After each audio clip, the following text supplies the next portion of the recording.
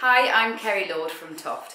This video forms part of a series to accompany the Edward's Crochet kits, patterns and books. So in this video, I'm going to talk a little bit about reading a Toft pattern. Um, so this is a postcard pattern, the kind of pattern that you'd get if you were buying one of our complete kits um, or if you choose to have um, a postcard option.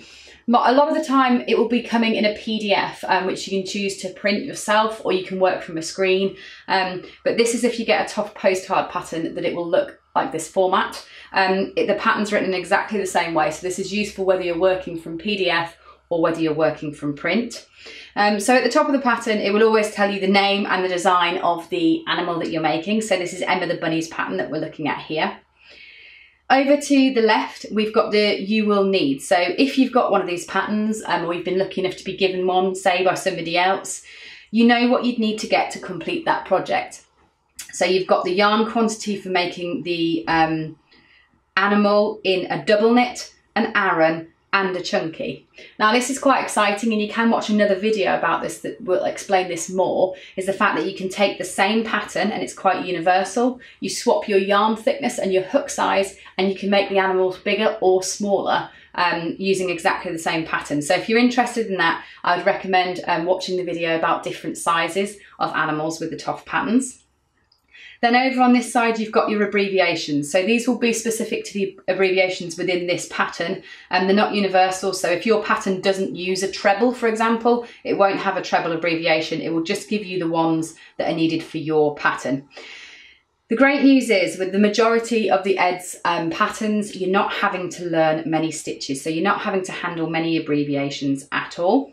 The most important one is the DC the double crochet stitch. So DC double crochet and then the DC2 tog, double crochet two together, which is the decrease. Um, once you've kind of got used to looking at DC and understanding what that stitch is, um, it's a very easy pattern to understand because generally, certainly on all the level ones, level twos, um, you will never be using half trebles or trebles, so different stitches.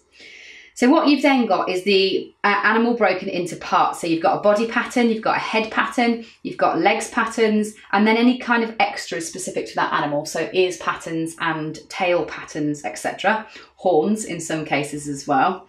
And every standard um, part will begin with the same process, which is begin by DC6 into a ring. Now you can watch a video on this. There's another video that gives you this introduction and my method for doing so. If you are somebody that crochets a lot and you know the magic um, ring or magic loop technique, do go ahead and use that. I happen to recommend a different one that I've just found a little bit easier when learning to crochet. So you can watch a video on begin by DC6 into a ring. Um, that's how most, like the majority of parts start with all of these animals. Then the pattern's broken down into rounds. Now this is because when you're crocheting, you're going around in a non-stop spiral with these patterns. You're not going backwards and forwards, um, you're not turning and you're not chaining. What you're doing is you're starting with six neat stitches in a closed ring and then you're constantly crocheting in the same direction.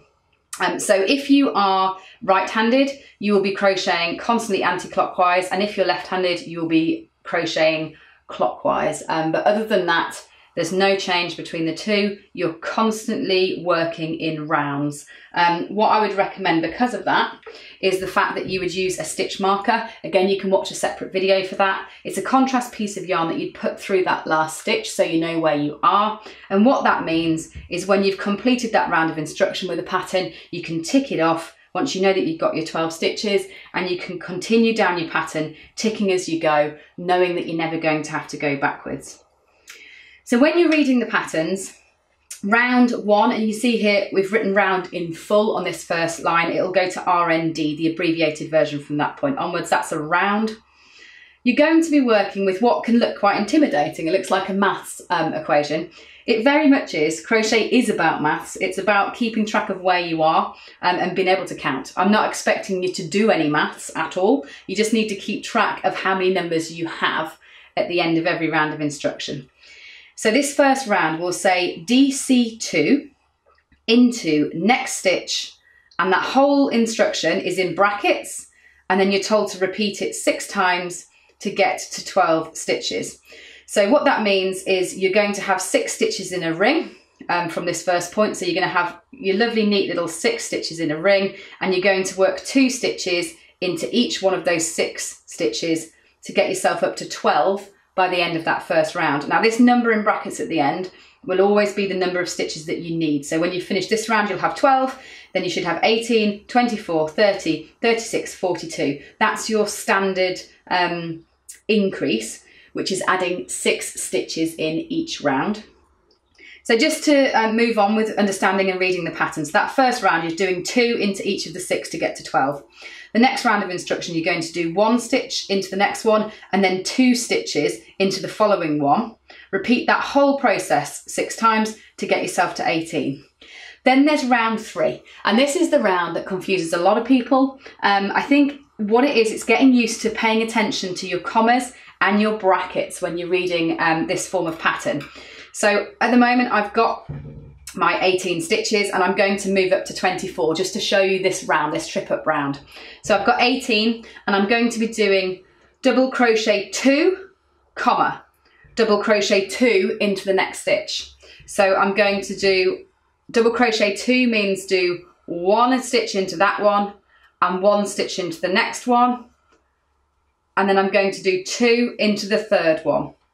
So if you read it and you really break it down and read it out to yourself, double crochet two and then double crochet two into the next stitch. So now I'm going to double crochet two again. So one, two, and then do two into the next stitch. So that's how you'll go around that ring, effectively increasing in the third stitch. So putting two stitches into that third stitch. Just to explain, um, the bit that tends to confuse people is when it says double crochet two, you have a tendency to want to put two into one stitch. Think about the fact that sometimes the pattern might say double crochet 10 and you wouldn't try and put 10 of them into one stitch. You would do one stitch into the next 10 stitches. So one, two, three,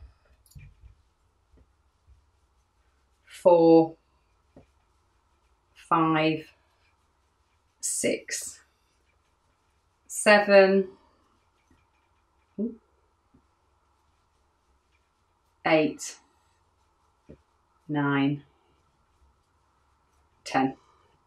So the final thing really that you need to understand when reading a pattern is this decrease, this DC2 tog um, that you see up here. You can watch a separate video for it, so go and find that decrease um, video if you want a close-up and slow motion, but it'll work in the pattern in exactly the same way, that when it says DC2 tog, you will go straight into doing your decrease. So the final thing really to mention when you're understanding this pattern is the fact that the full stop at the end of a segment will indicate that that's done.